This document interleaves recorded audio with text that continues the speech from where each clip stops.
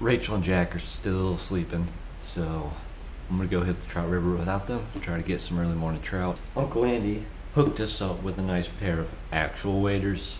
Um, now we want to look like fools out there in our shorts, old tennis shoes, 40 degree water, and just going completely numb. So excited to try these out. Booyah!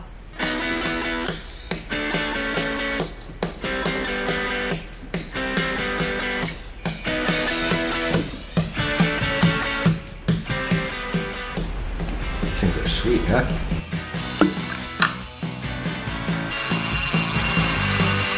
Early morning, heading out alone. Rachel was gonna come, uh, but when I woke her up, the dogs jumped in the bed, and I guess she chose the dogs over me today. And usually I preferred fishing with other people, like Rachel, Jack, Uncle Andy. But sometimes it is nice to get out there alone, early in the morning. Um, not as many people out, it's just feels really peaceful, good way to start the day. Plus, you can't beat these views.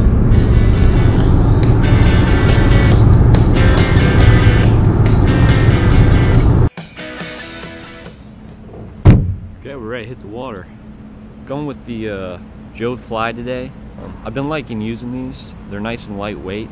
I do add another weight up top just so I can cast it further. But they look really realistic. I've been getting some good hits on them. Ooh, see that crane? Blue heron. Blue sitting right here where this little like sewage slash creek comes into the river.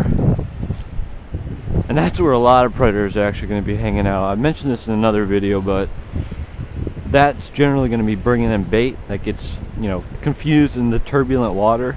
And a lot of times when creeks flow into rivers at the creek mouth, it's going to be a really good spot to fish. And even the birds chilling there. So that's where we're going to target first. Hopefully pick up some of these trout, predatory species. They're going to be hanging right here. This area, you know, I was really targeting. See behind them rocks, that's slack water. I was targeting that. There's some slack water here. It's targeting that. Also got some ripples up here, so let's just working the Joe fly through there. No hits, so we'll just keep working down. We got a nice flat stretch that gets a little deeper on the far end, so we'll just be working down and hitting them edges. We've been out here about two hours now. Still not a bite. Still working the Joe fly with the weight. I might try switching up here. We're at a good spot right here. It gets pretty deep. I'm gonna fish this out, maybe head upstream a little bit more.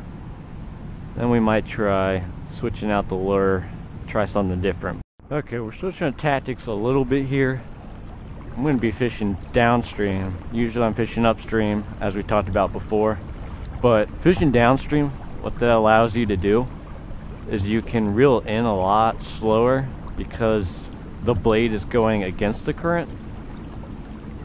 And basically that's going to keep action on the blade and allow you to reel very slowly and keep in the strike zone a lot longer. And you can see I'm not even reeling it right now. It's just letting the current do the work. If you're not getting bites fishing upstream, sometimes it's worth it just to switch it up and just see if going slower might get you a bite. Okay, so when you want to catch a duck, you're going to get right lateral of them. Their eyes are to the front, so they can't see the sides. You're just going to want to walk very slowly on the duck.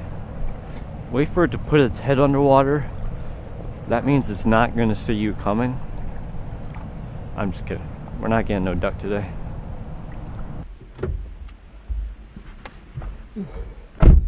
Not the best fishing day today. Did a lot more fishing than catching. But still good to get on the water. A little cold right now, probably gonna go home and make some chili. But uh here's a video Rachel catching her first trout, and we're using a lot of the same methods. And you can see the part of the river we're targeting, and you can check out our other video, um, how to read a river. But this part of the river that she's targeting, you can see there's a nice flow, and then there's a slack water pocket, basically, right behind that cement wall.